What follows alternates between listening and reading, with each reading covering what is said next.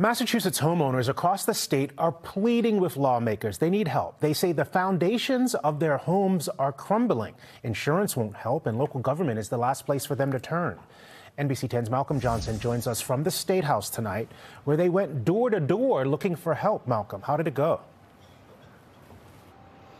Well, if you ask them, it went pretty well, Glenn. They went door to door right here inside of the State House because, as you said, the foundation of their homes, it's crumbling. Really, you can see it in the video that we're about to show here. And the worst part about it is their insurance won't cover it. We are fighting for us, for our neighborhoods, for our community.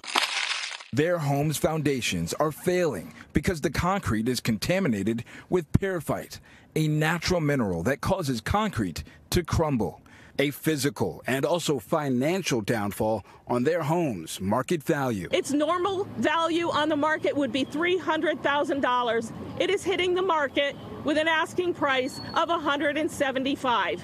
40 Massachusetts cities and towns are affected, and there's no insurance coverage or legal recourse, and replacement can cost millions. The financial burden is astronomical. The value of your home is decreased. Holden resident Karen Riani found out her foundation was crumbling back on Christmas Eve of 2020. Took money from our 401k and our retirement funds at our retirement age.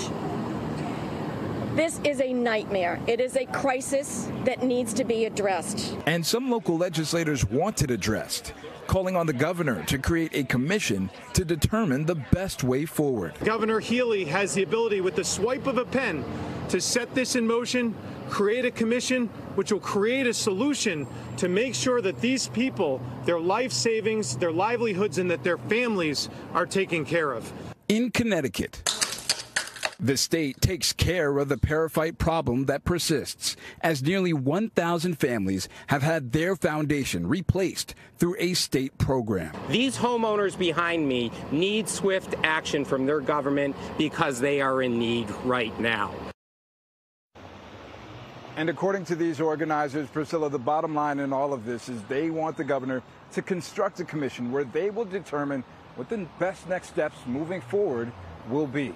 We're live tonight reporting at the State House. I'm Malcolm Johnson, NBC 10 Boston.